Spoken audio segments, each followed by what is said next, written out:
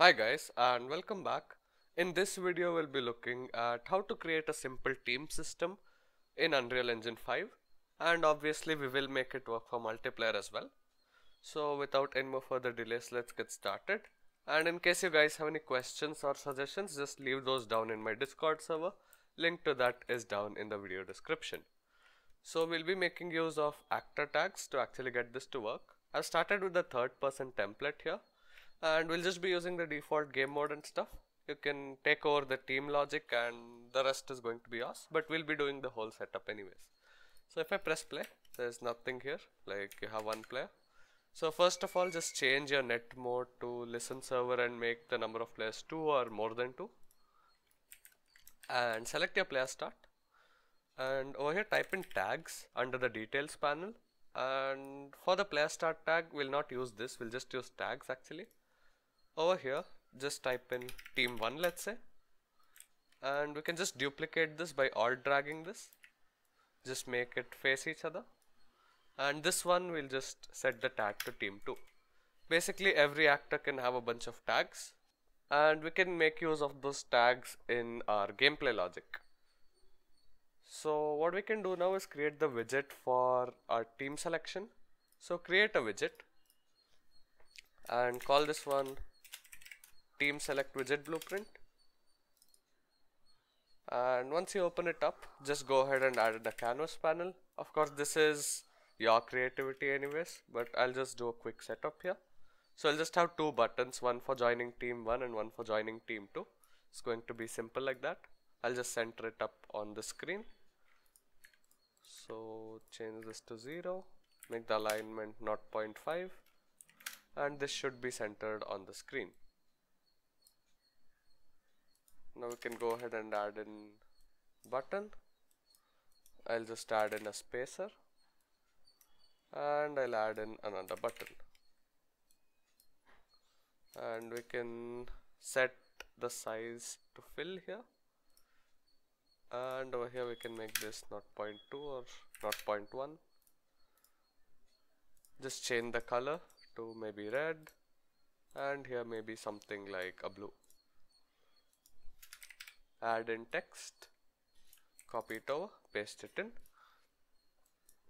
Over here what we can do is we can type in join team1 can copy over this text and we can paste this inside here and we'll call this one join team2 and we'll be making use of the click events. Now in order to actually create the widget and actually communicate with the server to spawn so we'll be using the player controller class so by default it's using the default player controller class. So we'll create our own and we'll just uh, stick with this naming convention. So we'll call it BP third person. Whatever in your case it'll be what you have in your game. So BP third person player controller. And on begin play we can just check if it is a local player controller and if it is a local player controller the reason we are checking this is because the player controllers begin play is called both on the server as well as on the owning client. So if you don't call this uh, it's gonna spawn multiple widgets on the server. If you guys don't have an idea of what I'm saying you guys could try it out without this. And then on the server if you remove the widget there will still be a widget on the screen because there are two instances of it basically. Anyways continuing with this. So if it is a local player controller we are going to create a widget. And this is going to be our team selection widget and we'll add it to the viewport. Then we'll also set up a spawn player function. So custom event spawn player. I think I misspelled that. And this is going to be a server RPC make this reliable and we'll be calling the game mode function from this. And for the input we'll just take the team tag. So this is just to determine which team you are in. So team tag. You could use enumerations in this case and then convert it to a name or whatever. Anyways the logic is totally yours. Now we can set up the click events for the button. So when we click button 0 that will be joining team 1 so we can get the owning player and we can cast it to our player controller. Cast to player controller third person player controller. And we can call our spawn player function. For the team tag we can set it to team1 similarly when we press team2 join team2 the same function is going to be called but this time it's going to be team2 for the team tag. So we didn't give a space over there so let's just stick with that convention and not give a space here. Like just keep it consistent everywhere basically. If you give team space 1 make sure you give team space 1 everywhere. Generally I don't recommend you give spaces but anyways. Now head into your game mode, we'll be using that. Before we do that, just set the default player controller to your third person player controller, the one which we created under the game mode settings. You could do that here as well. And if you open the game mode, we can go ahead and set up the spawning logic. So create a custom event, call it spawn player. And you need not uh, create an RPC because the game mode is going to exist only on the server anyways. So we'll need two inputs. One will be the tag itself to know which team. So team tag. And over here we can also get the player controller. This is to call the possess function because we want to change the pawn which the player has possessed. So this one is going to be the player controller. As simple as that. Now we can call in the spawn actor function Alright, and for the spawn actor function, we can pass in a third person character. The spawn transform is going to be the player start of the corresponding team. A quick and dirty way to actually do this is to just get all actors of class with tag. So the tag is going to be the team tag obviously and the actor class is player start and we can just get a random item in this array. So get a random item. So if I just type in random random array item. And we can grab the transform of this. So get actor transform. And we can set that to the spawn transform. Then since we have our player controller reference we can go ahead and possess it. So just to keep things clean I'm using a reroute here so we can call possess here. And this will be our basic basic spawning logic. So we basically spa uh, spawn our player in the correct player start and we possess him through the player controller. Now over here we can get our game mode inside the player controller and we can again cast it to our third person game mode call the spawn player function. Now our player should spawn successfully and we'll just pass in self for the player controller. Now in the team selection widget everything's working fine. This is going to work fine as well and even the third person game mode. One more thing just change the default pawn class to none and just save everything go ahead and press play as you can see you get the widget if you press join team 1 you spawn in but the widget doesn't go. So we'll just uh, do a simple setup for that as well. So remove from parent. You could do it according to how you want in your game. So remove these widgets. Join team 1 and join team 2 okay? But there seems to be one issue. On the server you can't really control the character. It seems to be some sort of a bug but I figured out the issue. Basically what's happening is over here uh, this cast to play controller returns false because the controller isn't set yet uh, internally. So a simple fix for that is just to delay until next tick and check again. And eventually when this reference will be valid our cast is going to succeed. So if I just do this it will be within a few ticks so it's fine so join team 1 and now I can control him. Join team 2 let's say and now I can control him. Alright, everything is fine. Now, uh, we have set everything up but there is no actual team tag So let's create a variable and call this one team tag. The only reason we are using an additional variable is because the tags aren't replicated by default. So we'll be using a rep notify on a team tag variable in order to forcibly replicate tags basically.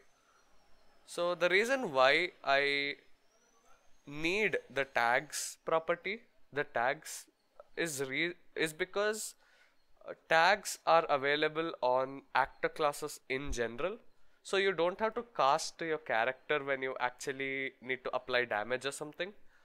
However, if you want to use this team tag variable itself, you will have to cast to this character class. So that's another uh, additional overhead. And if you're going to cast it anyways, you might not even need the team tag and stuff. So set this to rep notify. And on rep team tag what we can do is you can get this. We can get tags as well. And we can go ahead and set the array element. So let's assume our index 0 is our team tag uh, if you have something else make it index 1 index 2 so on. Your wish. And size to fit. And we don't need this to be expose on spawn really. There are a few issues with rep notify when you expose on spawn. So once this is done you can go ahead and set team tag. And we'll just uh, grab this team tag. Alright and now what we can do is we can have some simple logic to check each other's team tag and his own team tag. So we'll just add a small delay here and we'll just print out the tag. So print string and we'll get tag and we'll get the first index.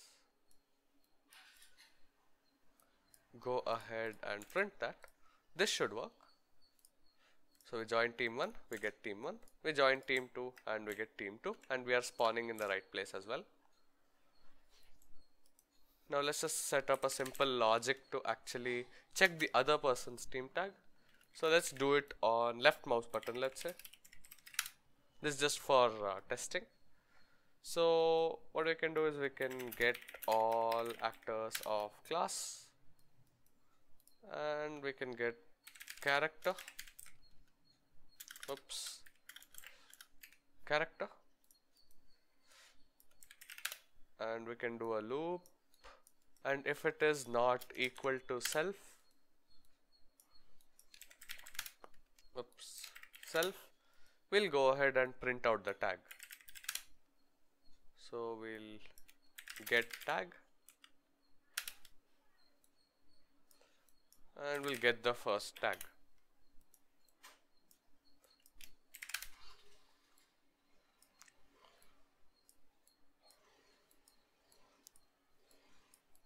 So this is just some quick testing logic. Go ahead and press play.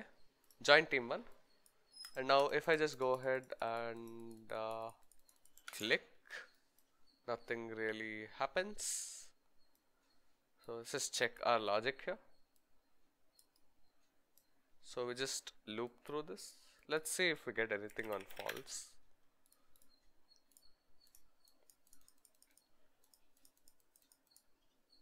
so let's see how many are we getting. So we're getting only one. So in theory something's probably wrong. Anyways we'll we'll just print out the tags. That should be good. So let's see what we're gonna get. We should get both. Join team 2 oh I realized we didn't join the team on the client side. So so team 2 team 1 so team 2 refers to the client's tag and team 1 refers to the server's tag and the same applies for the client as well. So our previous logic was actually correct. We didn't join the team on the client. Anyways this is how we would set up a simple team system. Now let's say you had a damage system or something. You'll check if the tag is equal to uh, the current team tag or or like if it is not equal to the current team tag in that case what you can do is you can apply damage. If it is the same tag you could uh, you could say you could do some friendly fire logic or something in an action game that that is. And maybe in like I don't know depending on the genre you could have team logic like that like showing player cards like show displaying the player name on the screen and stuff. So stuff like that.